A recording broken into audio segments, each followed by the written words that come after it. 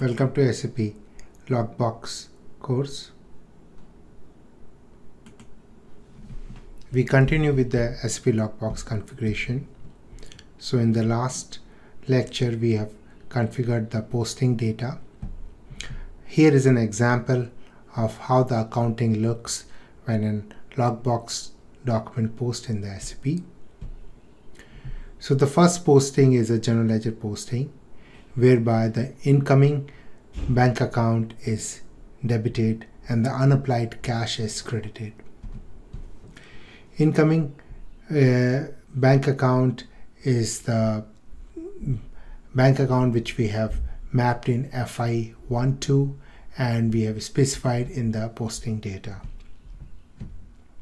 Now when the program is able to find the customer open invoice, it creates the customer account and the unapplied cash which is credited in the earlier entry is debited.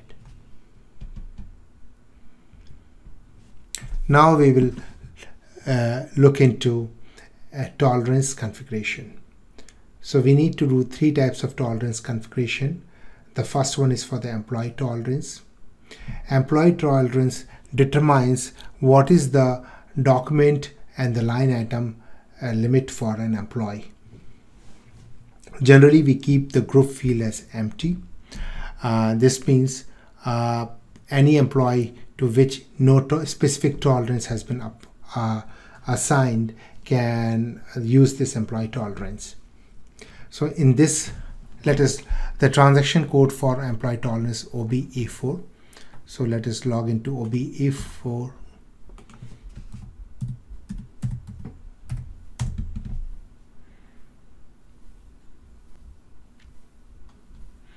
we select our company code 0006 tolerance group is blank.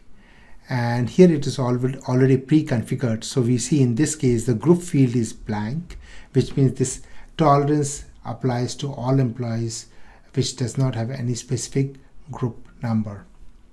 Company code is 0006 so the tolerance applies to company code 0006 amount per document is 1 followed by 9 12 zeros which means this is the maximum amount an employee can post per document. Let us change this figure to something more reasonable. Let's make it $1 million. So now an employee can post per document $1 million. Per open item, let's make it just $100,000.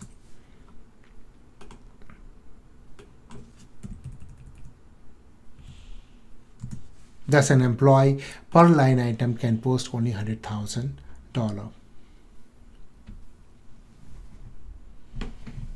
Cash discount that he can give per line item is 5%.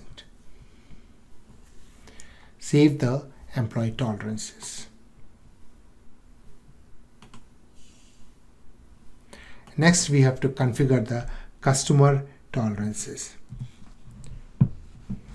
transaction code is NOBA3 let's look at the blank customer tolerance for the company code 0006 so because the tolerance group is blank which means any customer in whose customer master tolerance group is not applied uh, this tolerance group will apply. Now the permitted payment difference in this case is defined as triple nine in case of gain and 10% and the adjusted discount being 2%, uh, being $2.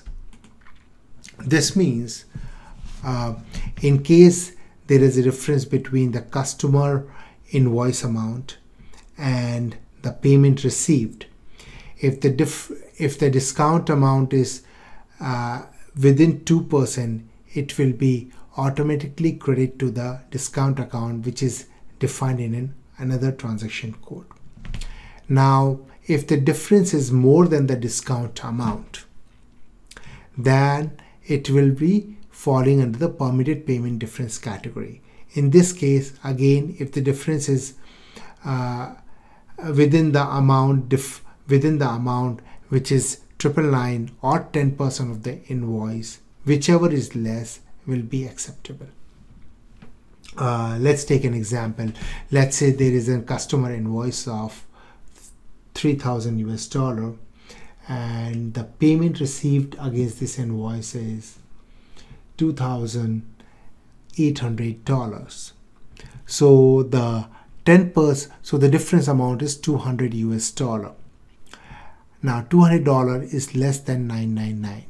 However, 10% of uh, $3,000 is $300.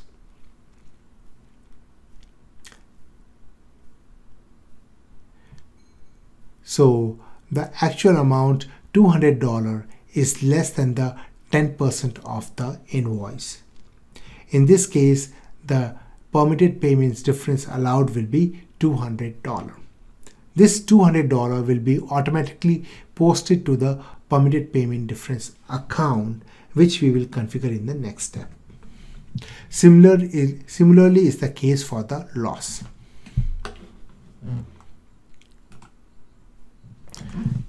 Let us now configure the GL accounts to which the these payment differences will post. The transaction code for that is OBXL.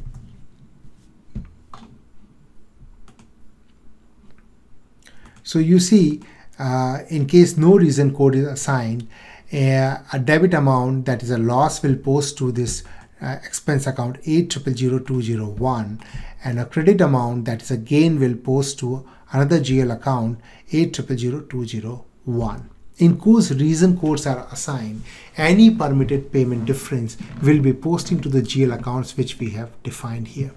Now these reason codes come in the lockbox file which we receive from the bank.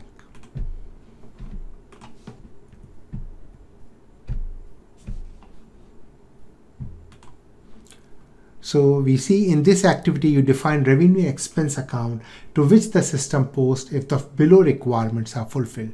There is a difference in payment that is the customer invoice amount differs from the customer payment or check amount.